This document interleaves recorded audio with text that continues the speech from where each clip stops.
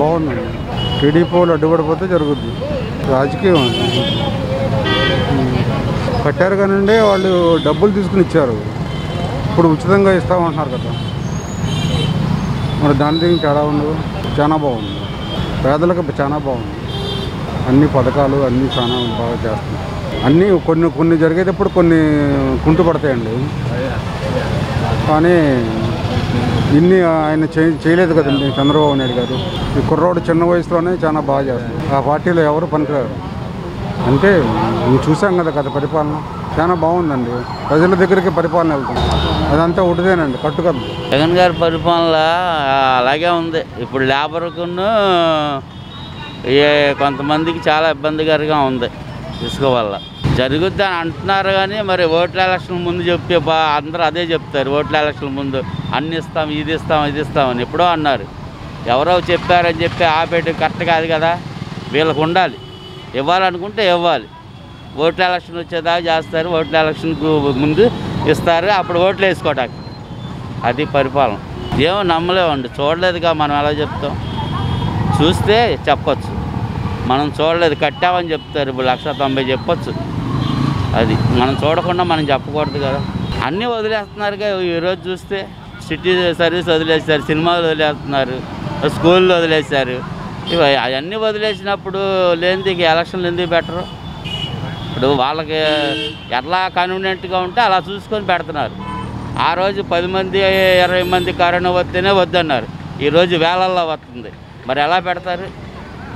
అదే రాజకీయం అంటే ఎవరి ఇష్ట ప్రకారంగా వాళ్ళు నడుచుకుంటున్నారు అది. పరిపాలన ఏముంది?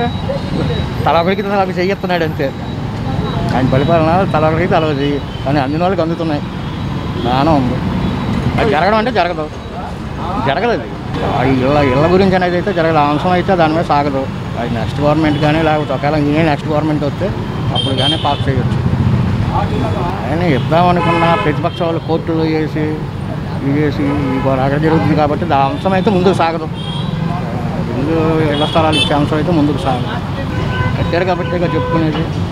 దానికి ఎందుకంటే డబ్బులు కట్టిన వాళ్ళు కూడా ఉన్నారు కదా. లక్ష రూపాయలు కట్టిన వాళ్ళు ఉన్నారు పాతిక వేలు యాభై వేలు కట్టిన వాళ్ళు ఉన్నారు ఆ ఇళ్ళ గురించి. ఇల్లు కూడా చూపించారు వాళ్ళకి. కట్టిన మాట వాస్తవం. అవి వస్తాయి రావా అన్నది తెలియదు. అది మాత్రం కరెక్ట్ కాదమ్మా. లేదంటే ఈ పొజిషన్ అయితే కరెక్ట్గా లేదు పక్క రాష్ట్రాలు చేసుకుంటున్నాయి కదా అని చెప్పి పెట్టడం అనేది సమంజసం. స్కూల్ ఓపెన్ చేయడమే రాంగ్. దానికి కూడా మళ్ళీ ఎలక్షన్లు అంటే చాలా ఇదిగా ఉంది. కానీ ఈసీ ఎలక్షన్ కమిషనర్ ఆయన పెడతాను అన్నారు అంటే పక్క రాష్ట్రాలు చేస్తున్నాయి కాబట్టి పెరిగితే ఏముందో తప్పేముంది దాంట్లో అంటారు. కానీ ఇప్పట్లో అయితే రావు. రోడ్లు అసలు దారుణంగా ఉన్నాయి. రోడ్లు అసలు పట్టించుకుంటలేదు అట్లాగే వెహికల్స్కి బాగా భారీగా పెనాల్టీలు అవి వేస్తున్నారు. దానివల్ల మాకు నచ్చలేదమ్మా. ఇంకా ఇవ్వలేదుగా కమ్మా ఇంకా ఇవ్వలేదుగా. మేబీ ఇవ్వచ్చు. కట్టలేదు. అన్ని కట్టకపో ఉండొచ్చు కానీ ఒక కనీసం సగమైన కట్టి ఉండొచ్చు. పెట్టచ్చు. ఎందుకనంటే మరి ఇప్పుడు పంచాయతీలకి మున్సిపాలిటీలకి కార్పొరేటర్లు అవన్నీ ఎక్కడెక్కడ పెండింగ్ పనులు ఉంటున్నాయి కాబట్టి ఆ పని పెండింగ్ పనులు పూర్తి అవ్వాలంటే వాళ్ళు రావాలి కదా అందుకోసం. మరి స్కూల్లో తీశారు. చిన్నపిల్లల స్కూల్లే తీశారు. మరి ఎన్నికలు పెట్టడం తప్పేముంది? ఈ వీడియో గనుక మీకు నచ్చినట్లయితే లైక్ చేయండి షేర్ చేయండి. మరిన్ని వీడియోస్ కోసం మా ఛానల్ను సబ్స్క్రైబ్ చేయండి.